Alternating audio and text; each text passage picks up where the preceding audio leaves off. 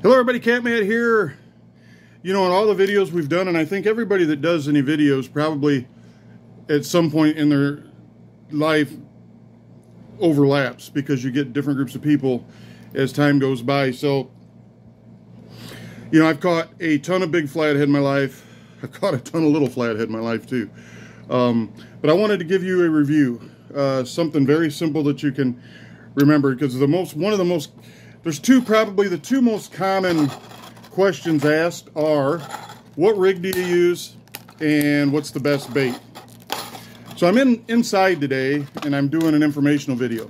I know a lot of guys seem to be like to see another person turn on a camera, reel in a big fish, name the two or three sponsors they have, and that's it. And for some reason, I don't get it. I mean, you know, why you want to see a fish reeled in, the same fish, kind of fish reeled in over and over again.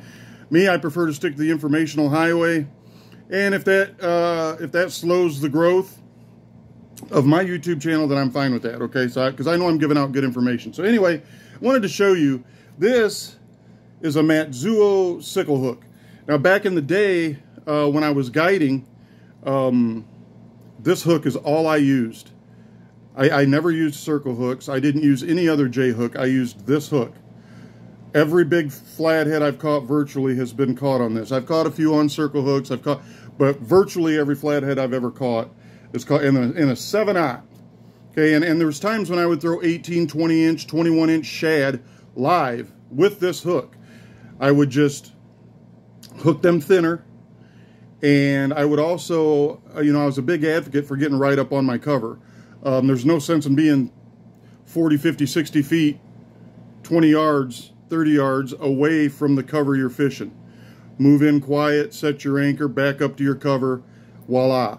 Uh, you could be much more accurate if you're running a four, five, six ounce sinker and a pound and a half, two pound bait. You could be much more accurate the closer you are. Okay, so this is the hook I ran, a 7 aught. A lot of people will say that's undersized for throwing great big baits. Well, I've got hundreds of, almost thousands of flatheads that'll tell you that's different. Okay, so, and I've got thousands, literally a thousand guide clients that'll tell you, this is what I used in my boat, okay? Now, as time would pass, uh, you know, I've passed through other hook companies, you know what, and, and there's been a lot of good hooks. Uh, so, you know, I, I don't get on here and I don't bash other people's companies. I've used a lot of good hooks in my life. Uh, been very blessed to use a lot of good hooks in my life.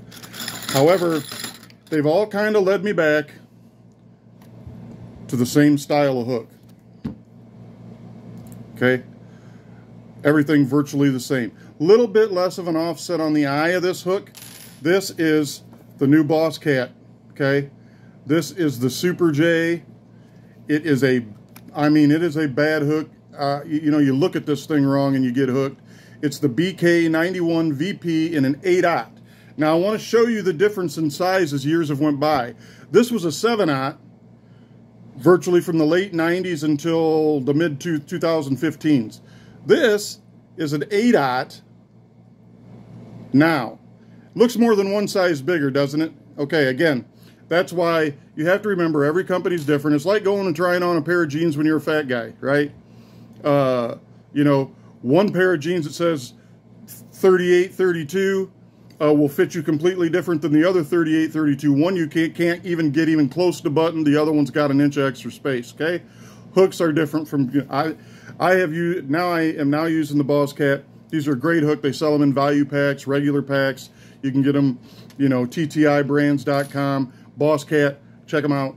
Uh, so I wanted to show you, you know, and, and, rigs nowadays have are absolutely through the roof. I get my KastKing, Cast King line out here. This is some mono that I had laying here, and I want to show you quick, okay? Real quick like, one more time.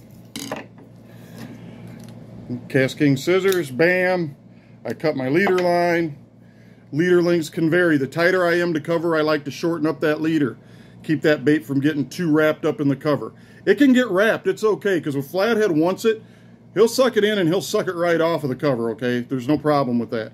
You throw a bait out and it feels like it's sinker snagged in there, just leave it. If you got confidence there's a big fish in there, leave it. If he wants it, he'll get it. I tie the simple snell knot in through the front, I wrap the hook,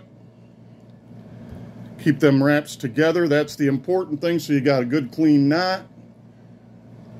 I come back, back to front, I pull tight. This is super light line. This is only six pound line. But anyway, okay. And then I'm going to run that up to my swivel, have my no roll sinker above it, and that's it. Uh, you know, uh, your basic Carolina slip rig, you know, and that's it. You don't have to go fancy. You can add rattles, you can add dragons, you can add whatever you want to it. Uh, I love sound, I love noise, I love vibration.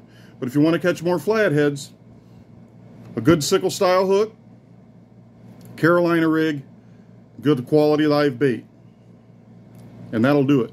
That's going to take you a long way to your goals of catching more big flathead, more flathead in general. I'll talk to you next time.